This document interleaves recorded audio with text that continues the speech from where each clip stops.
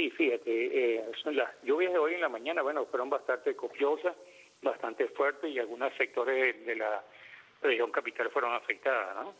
Y a las seis de la tarde hice un contacto con algunos de los directores estadales. Te puedo comentar que en Barinas está sin novedad, Amazonas, del Tamacuro, Bolívar, en Trujillo tuvimos unas lluvias moderadas, pero no tenían afectación.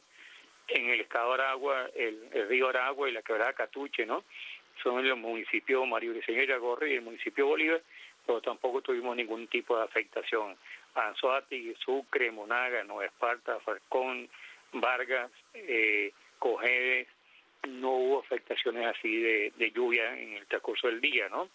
No así en el estado Miranda, que en el estado Miranda tuvo una serie de afectaciones en los municipios Salia, Huacaipuro, donde ah, varias viviendas quedaron anegadas eh, y afectadas de vialidad, ¿no? En el sector de, eh, en el vía del Picacho, Figueroa, en el sector del Cantante, eh, afectó una parada de autobús en, la carretera del vía Potrerito, el Casco Central, la calle Tiuna, la Mariposa, en en Guaycaipuro, dos viviendas también anegadas, en la Gunetica, ¿no?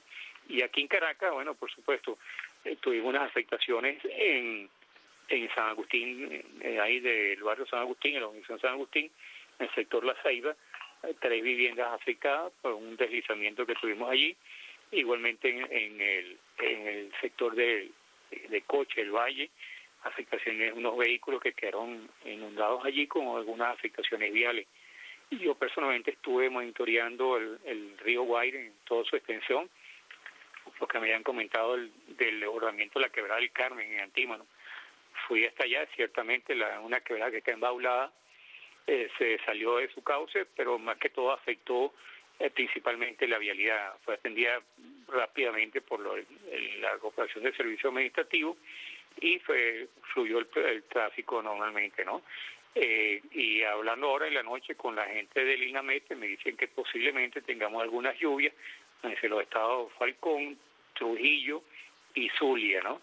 Y ya independientemente se alertó a estos directores estadales para que estén pendientes y tomen las predicciones correspondientes a, a estos casos, en, este caso de lluvia.